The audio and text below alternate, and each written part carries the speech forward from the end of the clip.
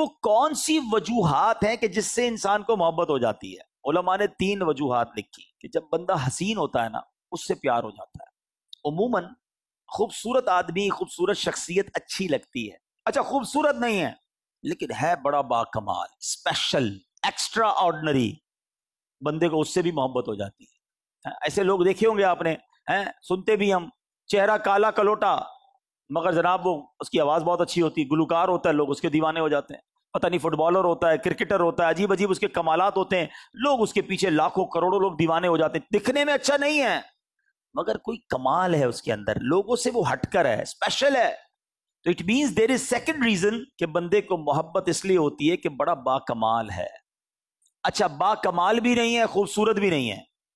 एक तीसरी वजह भी होती है मोहब्बत की, और वो ये है कि वो बड़ा एहसान करने वाला है।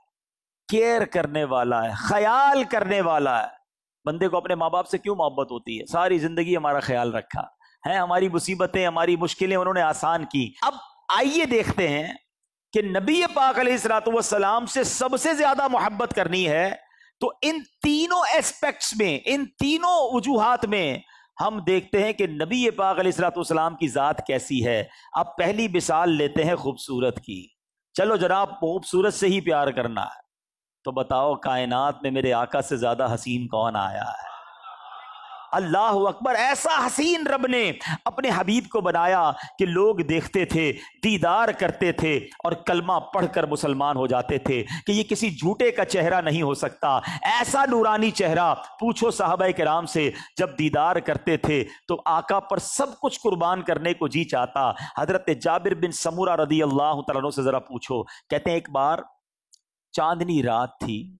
चौदहवीं रात का चाँद निकला हुआ था। मैं अपने कमरे से निकला। मैंने देखा कि चौदहवीं रात का चाँद चमक रहा है। बहुत खूबसूरत। मैंने देखा कि मेरे आका भी जलवा फरमा है। मैं चाँद को देखता, अपने आका को देखता। फिर चाँद को देखता, फिर नबी पाक सलाम को देखता, मैं फिर चाँद को देखा, फिर नबी पाक सलाम को देखा। कहते, वल्लाही, मेरे आका, चौदहवीं रात के चाँद से ज़्यादा खूबसूरत है। ऐसा हसीन रब ने मनाया। अल्लाह अकबर, हज़रत हसान बिन साबित ने भी देखा। है? ये वो साहबी है जो नाते पढ़ा करते थे। ए नात खानो तुम्हें मुबारक हो।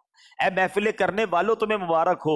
ए मिलाद मनाने वालों तुम्हें मुबारक हो। ये आज कल के दौर से नहीं, ये मेरे आका के दौर से जारी है। हज़रत हसान बिन साबित नाते पढ़ते, आका उन्हें मिंबर पर बिठाते और हज़रत हसान बिन साबित के लिए दुआएँ किया करते। सुनो, हज़रत हसान बिन साबित क्या कहते हैं? वह अहसन मिन कलम तरकत आईनी। हुजूर, आप जैसा हसीन मेरी आँख ने देखा ही नहीं है।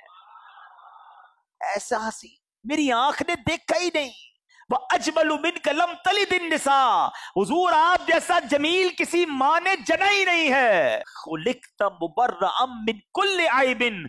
या रसूल अल्लाह अल्लाह ने आपको सारे ऐबों से पाक बनाया। और सुबहान अल्लाह आगे जाकर सुनो, हज़रत हसान बिन साबित ने अगली लाइन में क्या कहा?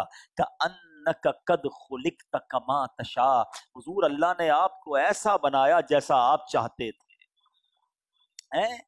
और अगर हम आला हज़रत लिखे कि खुदा की रिजा चाहते हैं दो आलम, खुदा चाहता है रिजाए मोहम्मद। अरे, यही तो हज़रत हसान बिन साबित ने कहा था। तो ऐसे मेरे आका हैं, ऐसे हसीन आका हैं कि साहबा कराम देखते और दीवाने हो जाते।